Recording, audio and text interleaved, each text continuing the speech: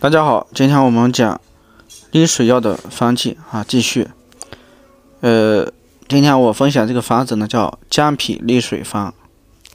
这个方子它来源于《灵药良方汇编》啊这本书，它可以益气健脾、行水消肿，主要用于孕妇产后泻。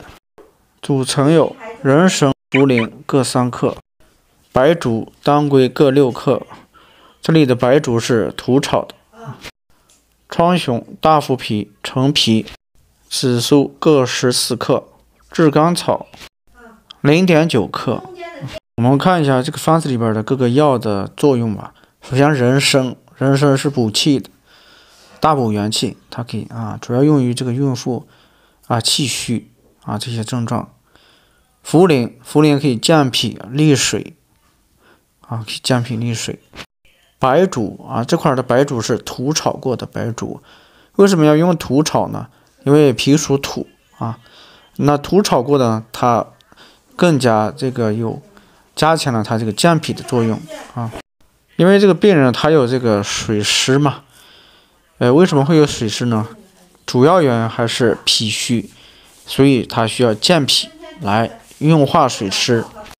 当归啊，当归是补血的。啊，这里是因为孕妇、孕产妇呢，她这个产后呢，她会身体比较虚弱，需要补血啊。川芎啊，它也是补血的。紫苏啊，紫苏叶它是发表的，还可以行气宽中啊。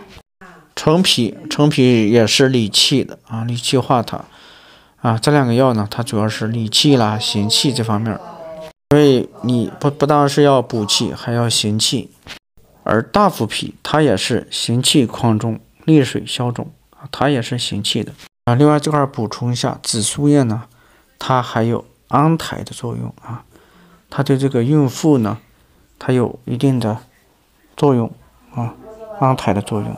嗯，这个方子呢，它整体组合起来的话，就起到一个降脾利水啊。行气消肿的这么一个作用，它作用比较温和，用于孕妇啊产后泻啊，主要表现有产后久泻不止啊，从而造成这种嗯身体比较虚弱啊这种情况。